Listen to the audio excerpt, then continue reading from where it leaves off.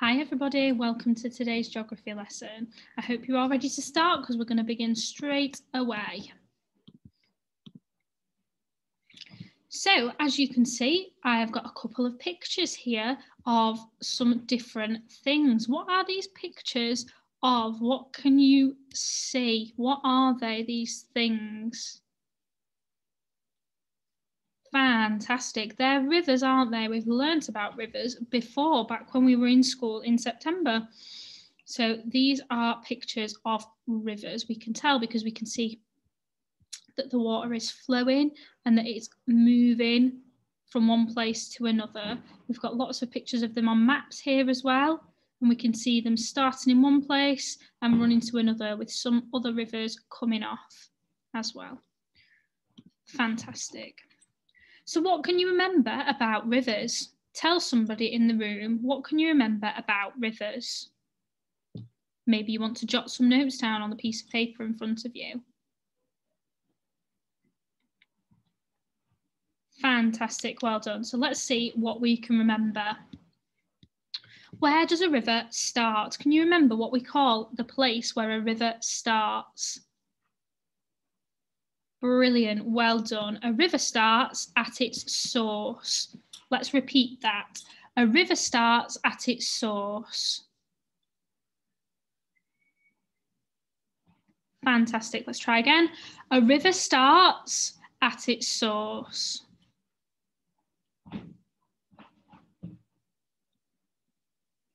Brilliant. I want you to say that to somebody in the room with you. A river starts at its source. Go and tell them now.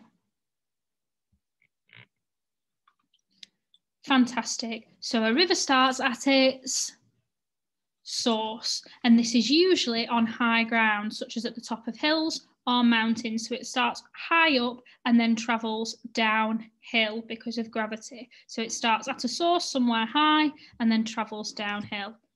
Where does a river start again? At its source. Brilliant. Can you remember what we call the place where the river ends? Where does a river end? Amazing, well done. A river ends when it reaches another body of water, and we call that place the mouth. The mouth. What do we call it? The mouth. Fantastic. So it might reach um, a lake or a sea, or it might even just lead into another larger river, and we call that the mouth. What do we call it? The mouth brilliant. So a river starts at the source and it ends at the mouth. Let's repeat those sentences. A river starts at the source.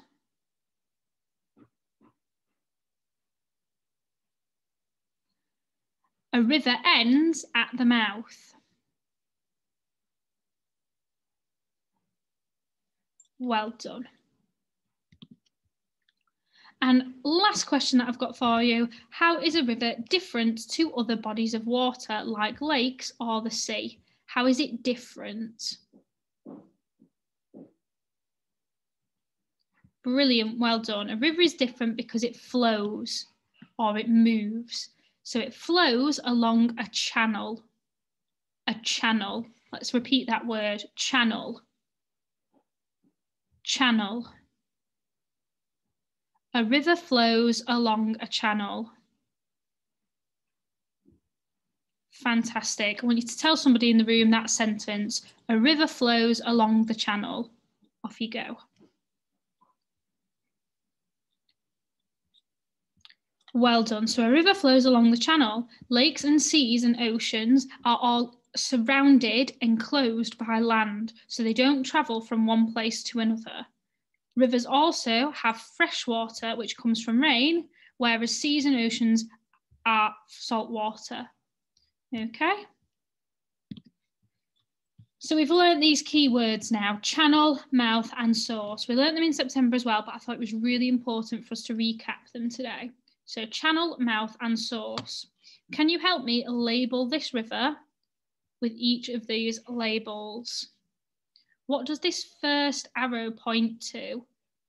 This one is pointing to the start of the river. Well done. What do we call the start of a river? Is it the channel, the mouth, or the source? Shout it out.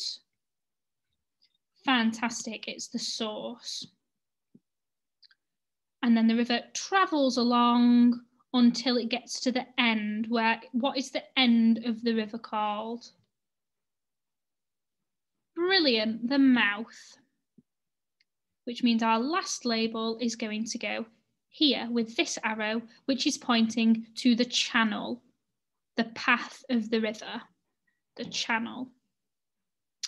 Rivers flow mm, hill because of gravity. Do they flow uphill or downhill?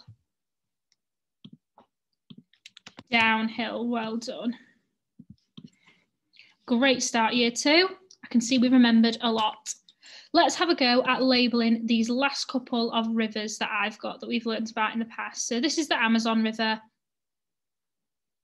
the Amazon River, and it's in Brazil. Okay. What is this arrow pointing to? What is this arrow pointing to? Fantastic. That is the source. We can tell that it's the source because it starts on the land. It's starting on the land. We can see the path of the river and that's where it starts, the source. So where is the, where is this arrow pointing to then? What is this arrow for? Fantastic, that's for the mouth. We know it's the mouth because it leads into an ocean and you can see the little shape of it there, the mouth. Which means that the last one is the channel. The channel. Fantastic. Let's have a go at this one then. Have a look at the map closely. Think about where it starts, where the river starts and where it finishes.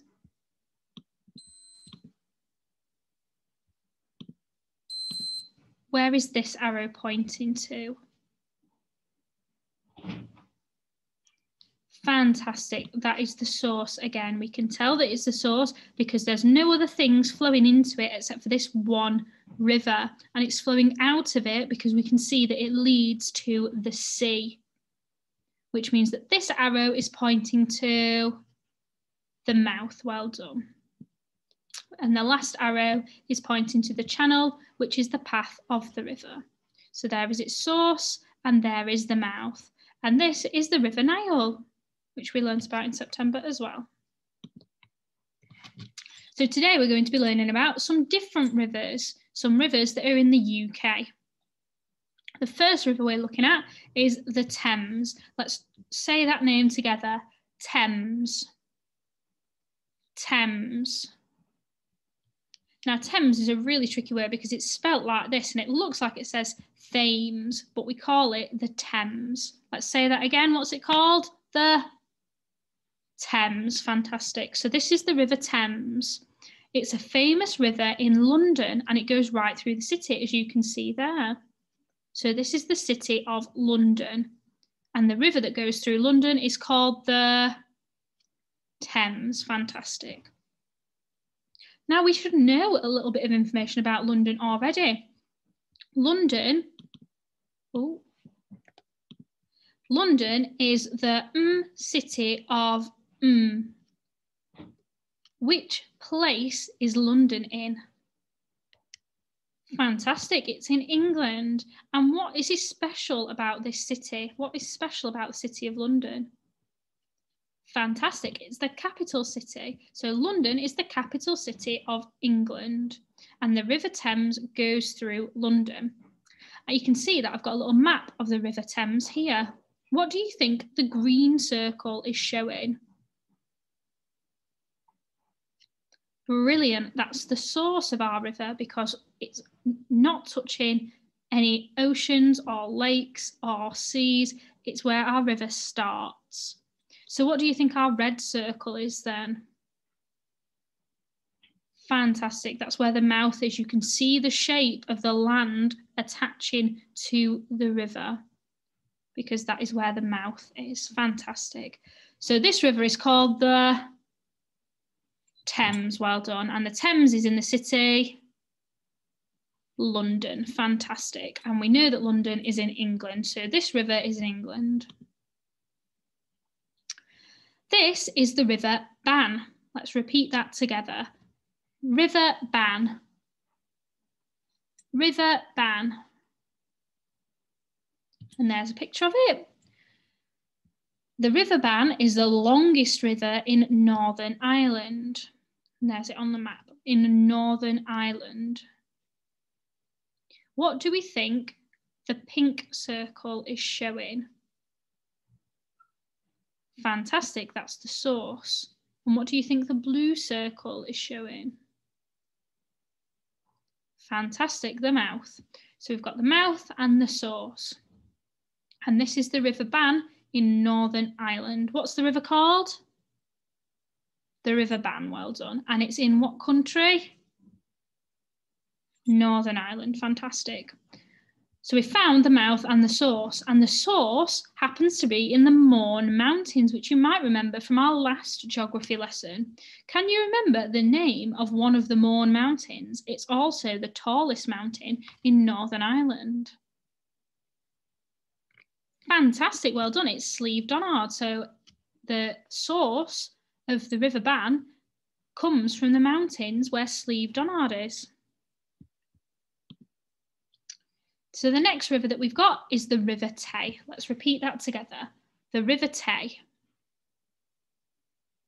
The River Tay. Fantastic. And I've got a picture of the River Tay here. The River Tay is the longest river in Scotland. It starts on the slopes of a mountain called Ben Lui. So this is the River Tay. What's the river called? The River Tay, fantastic. And where's the River Tay? What country is it in? Scotland, well done. The River Tay is in Scotland. And there it is, you can see. So what do you think the yellow circle is showing? Fantastic, it's showing the source. And what do you think the brown circle is showing? Well done, it's showing the mouth of the river.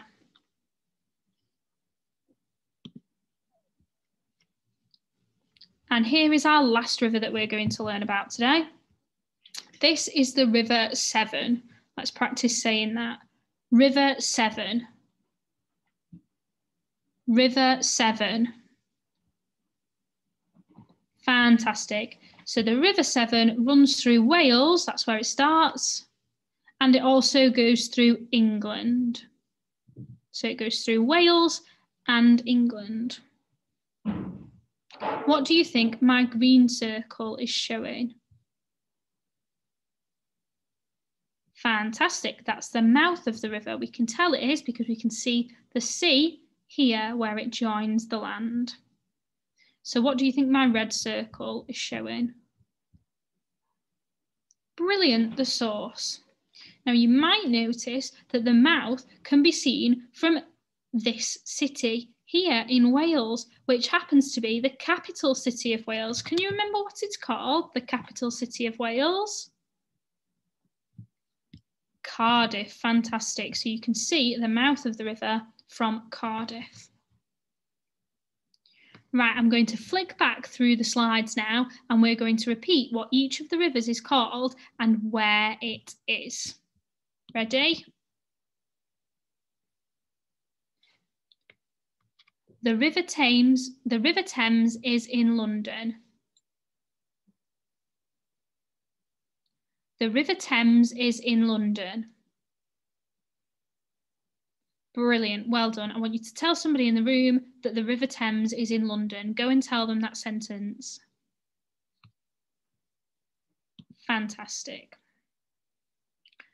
The River Bann is in Northern Ireland. Let's repeat that. The River Bann is in Northern Ireland. The River Bann is in Northern Ireland. Go tell somebody in the room that sentence and tell them in a robot voice that River Bann is in Northern Ireland. Fantastic, well done. The River Tay. Is in Scotland. Let's repeat that. The River Tay is in Scotland. The River Tay is in Scotland. Fantastic. I want you to go and tell somebody in the room that the River Tay is in Scotland. And I want you to tell them in a little high pitched voice, the River Tay is in Scotland. Fantastic. And the last one. The River Severn starts in Wales and goes through England. That's a tricky one. Let's hear it again. The River Severn starts in Wales and goes through England. Your turn. Brilliant. The River Severn starts in Wales and goes through England. Fantastic. And I want you to tell somebody in the room that the River Severn starts in Wales and goes through England. Off you go.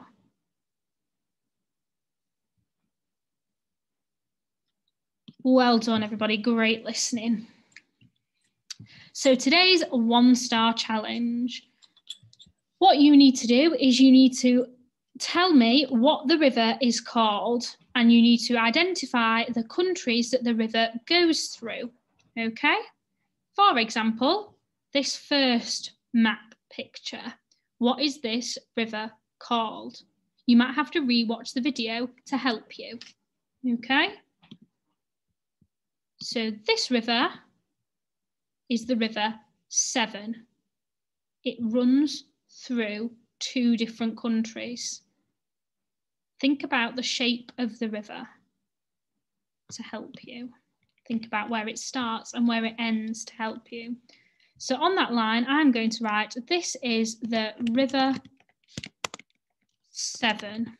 And I am copying that word straight from my word mat.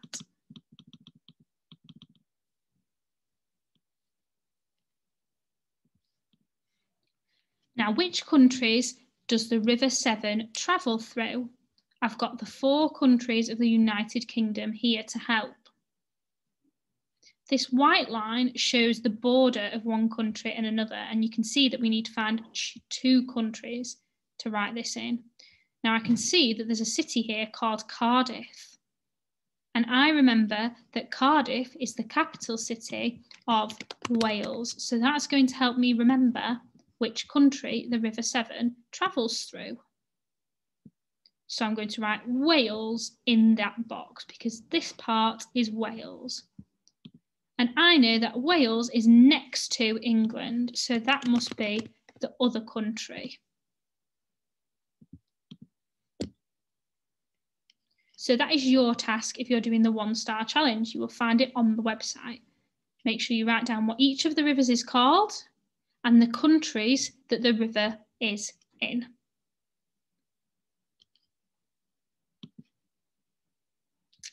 The two star challenge. The two star challenge is very similar.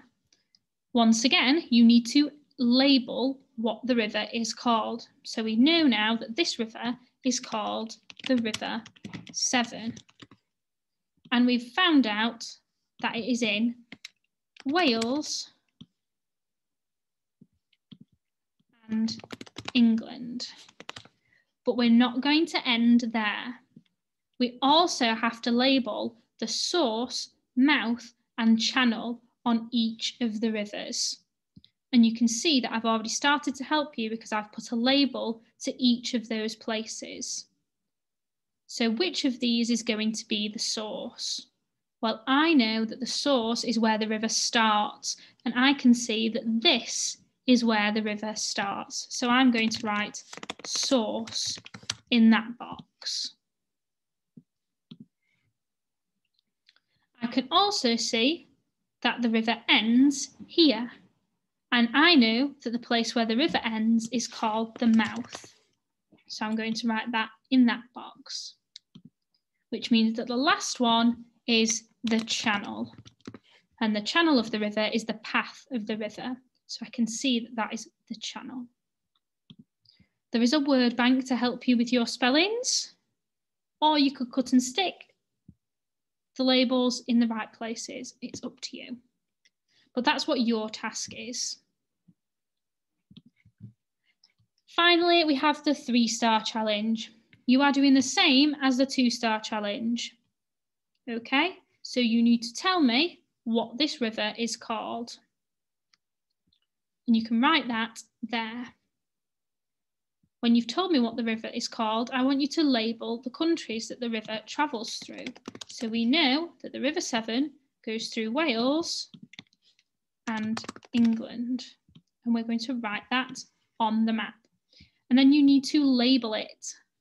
Okay, so label the source. Right, where is the source on this map? You've not got any clues to help you. You've just got the map this time. Well, this here is the source. So I'm going to draw a line off it and then write my label.